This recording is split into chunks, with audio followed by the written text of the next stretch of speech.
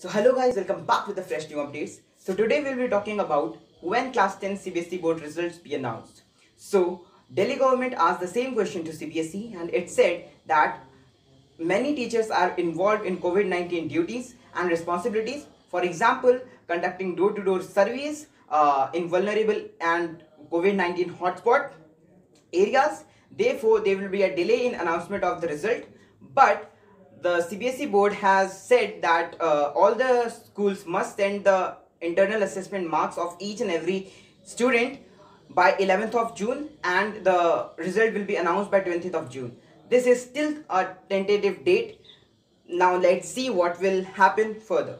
Uh, by the way, you can all go through the screen which I'm presenting right now and uh, you must understand it. If you don't understand anything, do comment down and I, uh, I will always be there for you to answer.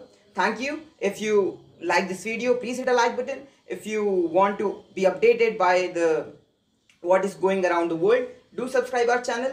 Thank you. Jai Hind.